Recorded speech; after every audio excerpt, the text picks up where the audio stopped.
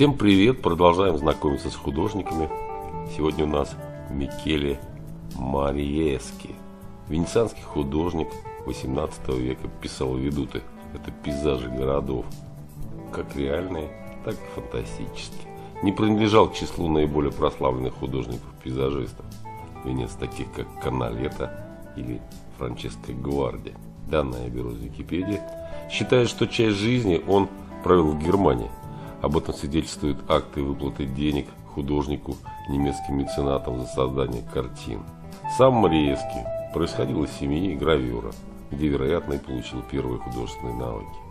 Хорошо разбирался в перспективе, работал как театральный декоратор. Приобрел известность в 1730-е годы в Венеции после смерти Карлевариса. И подобно Карлеварису начинал как художник-сценограф. Приписан был он гильдии венецианских живописцев. Мариевский увлекался работами Каливариса и сам, будучи гравером, выполнял афорты его ведут. В городских пейзажах художника пространство площадей, виды большого канала переданы документально точно и в ракурсе угловой перспективы. Его ведут и моста Риальто, который он часто писал с разных точек зрения, варьируя композиционное построение картин, но всегда выстраивал его по законам сонографии. В его полотнах мост Риальто, набережная Дель Карбон, кстати, картины в Петербурге, в Эрмитаже находятся. Присутствуют архитектурные кулисы, четко ограничивающий вид, намеченные оптической камерой. Неглубокое и замкнутое пространство открывается с угловой точки зрения, образуя подиум, сцену и декорационный задник, которым последовательно вторит более темный первый план и более светлые по колориту дальние планы.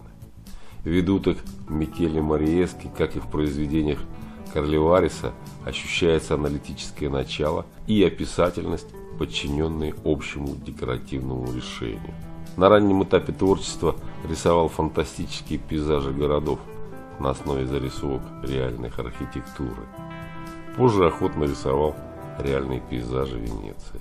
Период между 1735 и 1741 годами найдены записи о его регистрации в гильдии художников Венеции. Сохранились свидетельства о его свадьбе, где одним из свидетелей был художник из Венеции Гаспари Дициани. Много занимался гравюрой, используя технику афорта. Умер в возрасте 33 года. 1743 году. Ну вот так вкратце о Микеле Мариеске, венецианском художнике, который писал ведуты, пейзажи городов, реальные и фантастические. Пока-пока, до свидания.